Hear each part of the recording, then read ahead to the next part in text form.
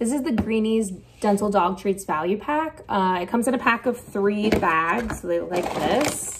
There's quite a lot in each of them.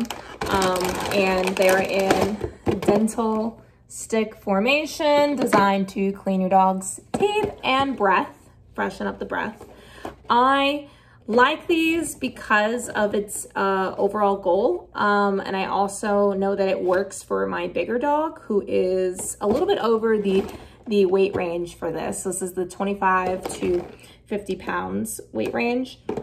I have a dog who is 80 pounds. He's slightly overweight, so I do give him this.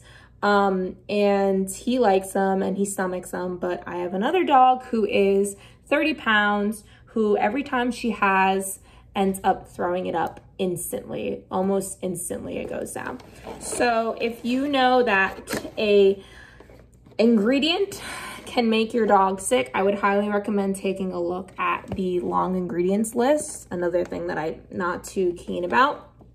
The main ingredient is wheat flour, uh, which doesn't sit well with dogs.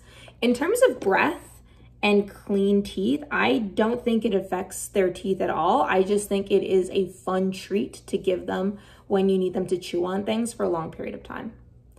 And that is it. Greenies.